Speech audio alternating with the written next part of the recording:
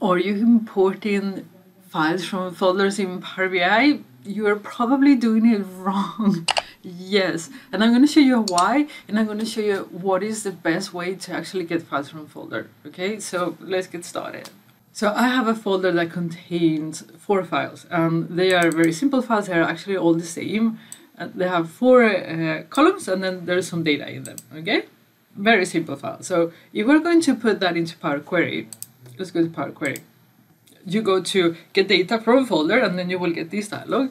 And there are different ways to do it. The official way is to just go in here and then tell which file you want to use a sample file, so which file is more representative of the data, pick it. It's either the first file, by default it will always pick the first file, you can pick any other file. And then you go in here, you click OK, and uh, here we have our files combined. You just get rid of one of the titles and there you have all the data. Beautiful, right? So what is the issue? Let me show you. Okay, I have now a file 5 and this file has an additional column okay so this file was not there when this was created so if I drop it in file 5 and I refresh you see that it has the information but the column is still missing because it's not part of the sample file and if you have only five files, if you know that the column is there, you can fix it manually. But if you don't know, this is not a good way to get all the data. You want that column to appear. And if you have thousands of files, you don't know because you can say, oh, you can pick a file, sample file five as your sample file. Yeah, but they can come more columns, less columns, different columns, you know.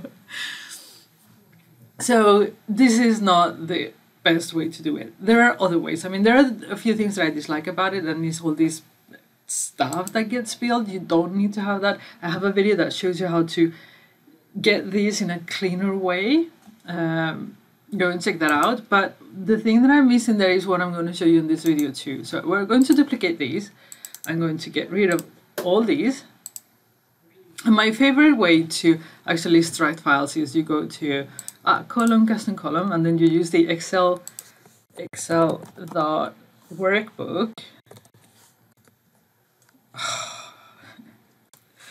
uh, okay. And then you put content, this one, and then you just expand it. You get the tables there. You remove all the columns, get rid of everything. And here, here's the thing. If you, in this step, let me duplicate this. So if you in here now go and expand, and then expand again, you get the same problem now. I want you to see something. If you go in here and you see this, it says load more. So if you click in there, it will actually go and look and then see there are other columns and it will pick them up.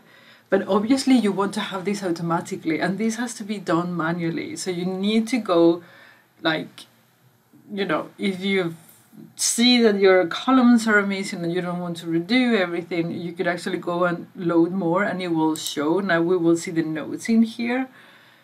Not a good way. So how do we automatically click on that load more so it always loads everything?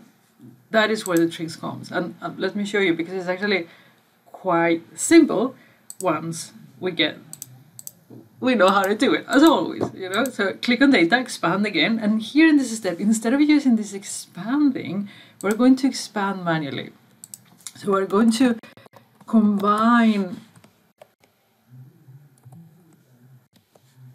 combine all the tables using table combine. So you go to the previous step you go to the column data and then combine them and that will expand everything right? So yeah the it is surprising i'm not sure why they're not using table combine it could be because it is not very efficient if you have a lot of data that it requires a lot of muscle power to do it no idea but the thing is that if you're not sure how many columns you're going to get on your future files, doing it the normal way, like a normal expanding will not work. You're probably going to miss data columns. So table combine people. Unless it's a machine process that dumps the files in there and you are certain that nothing will break, table combine. Okay, I hope this was useful for you. I will see you again on Thursday as always and take care.